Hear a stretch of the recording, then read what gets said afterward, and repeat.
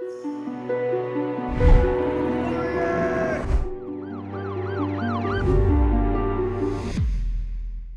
is a famous paranormal story from West Virginia that involves a woman by the name of Mamie Thurman, who, on June 21, 1932, was last seen around 9pm in a blue polka dot dress walking near a theatre in Logan. That was the last time Mamie Thurman was seen alive, and a short time later, she was murdered and her body dumped on 22 Mine Road, Logan, a distance of approximately 11 miles. Logan is a city in Logan County in the west of West Virginia.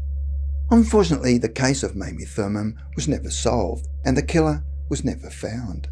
However, it appears that the troubled spirit of Mamie Thurman has not passed on. At night, whilst driving up the mountain, drivers have claimed to have seen a woman walking up and down the road, asking for a ride before vanishing.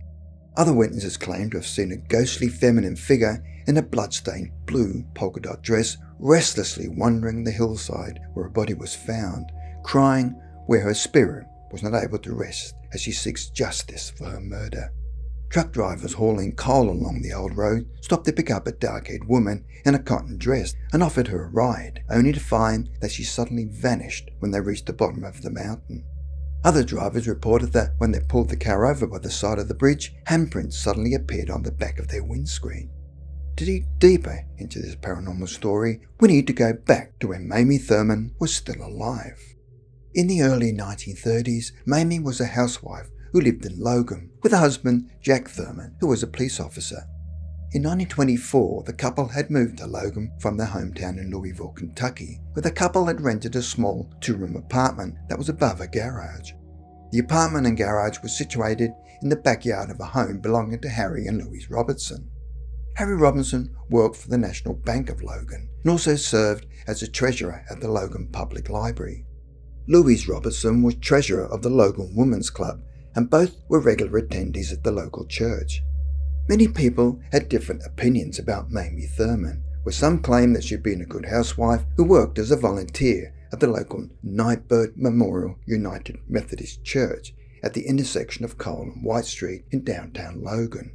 But there were some residents of the town that had different opinions about Mamie and that she was a married woman that liked to live fast and loose.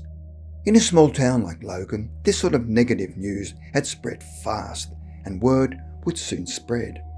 On June 22, 1932, 32 year old Garland Davis was picking berries near the top of Trace Mountain when he stumbled across an horrendous sight. It was the body of a young woman who appears to have been stabbed and shot before being thrown into a ditch.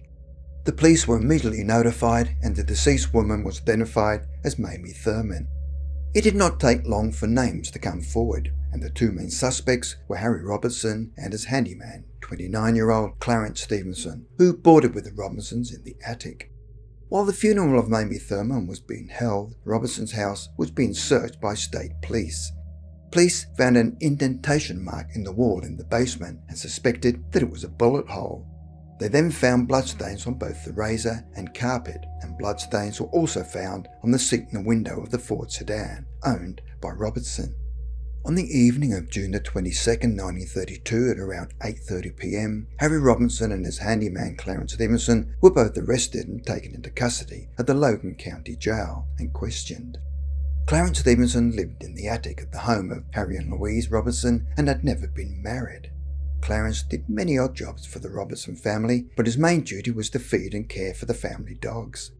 Other than bank worker and treasurer, Harry Robinson was also a prominent sportsman, and this supposedly upstanding citizen of the community admitted to having had a two year affair with Mamie Thurman. It was claimed that their adulterous liaisons were organised by his worker Clarence, who would fake their hunting trips together, where Clarence would then drop him off at certain locations in order to meet up with Mamie. With all of this evidence found in the basement of the home of the Robertsons, and for some unknown reason, Harry Robinson was never indicted by the grand jury, but his worker, Clarence Stevenson, was indicted and stood trial for the murder of Mamie Thurman. They found him guilty and he was sent to Moundsville Prison, a West Virginia penitentiary. Clarence Stevenson continued to state that he was innocent, and the fact that Harry Robinson was white and he was black would not have helped his case in West Virginia in 1932. He was later transferred to Huttonsville Prison Farm in June of 1939 and died of stomach cancer in 1942. Norman Sloan was a Logan County resident who spent time in jail with Stevenson. Sloan claimed that Clarence Stevenson told him in jail that he was hired to take the body to 22 Mountain, but he didn't do anything to Mamie Thurman. He never said who killed her, but he said he did not do it. However, over the years, people have many theories about who the killers were. One theory is that more than one person was involved in murdering her and the disposal of the body, and the finger could point to his wife, Louise Robinson, and Clarence Stevenson. Louise Robinson possibly found out about the affair and had no doubt reached a point where she couldn't take it anymore and decided to take matters into her own hands, and with the help of Clarence, killed Mamie Thurman before disposing of her body. She would have needed the assistance of Clarence to carry the body and then dump it on the side of the road, it has now been over 90 years since her death, and it is still an unsolved mystery.